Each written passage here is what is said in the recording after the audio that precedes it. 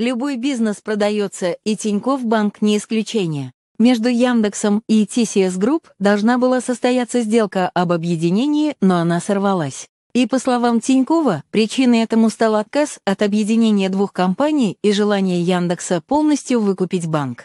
Тиньков пояснил, что в процессе переговоров с Яндексом он окончательно понял, что объединения не будет, а будет покупка банка. Оплата состояла наполовину из акций, и Тиньков терял влияние на решение новой компании. Подробнее на нашем сайте.